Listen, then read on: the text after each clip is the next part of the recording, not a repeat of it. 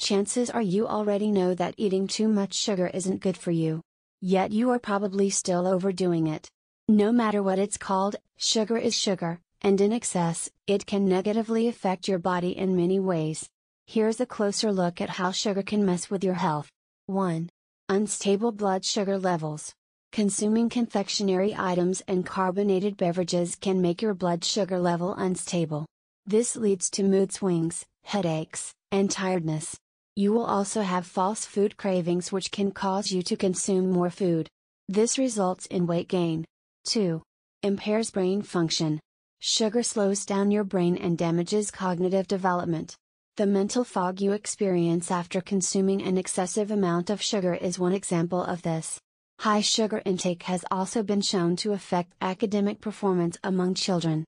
Sugar can also put you at risk of depression and tension. Additionally, it has been found to be linked to dementia and has a negative impact on memory functions as well.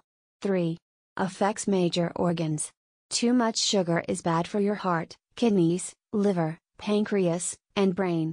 When you consume sugar, your pancreas must produce insulin to normalize your blood sugar levels. Overconsumption of sugar will cause your pancreas to work overtime and get damaged. It also affects your arteries and can cause stress to the heart. This can put you at risk of heart disease and heart attack. 4. Reduces immunity. Sugar also has an effect on your immunity. As your blood sugar levels rise, bacteria and yeast are able to feed on this sugar. As a result, they grow in number and can cause infections. 5. Causes diabetes. Too much sugar is directly linked with an increased risk of diabetes.